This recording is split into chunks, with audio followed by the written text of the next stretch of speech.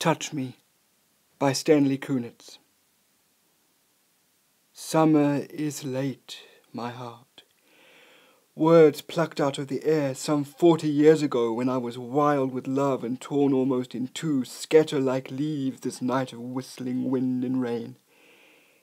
It is my heart that's late. It is my song that's flown outdoors all afternoon under a gunmetal sky, staking my garden down.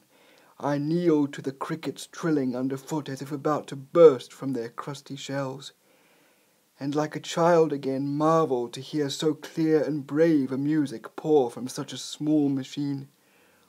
What makes the engine go?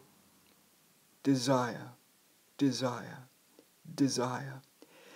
The longing for the dance stirs in the buried life. One season only, and it's done. So let the battered old willow thrash against the window panes and the house timbers creak.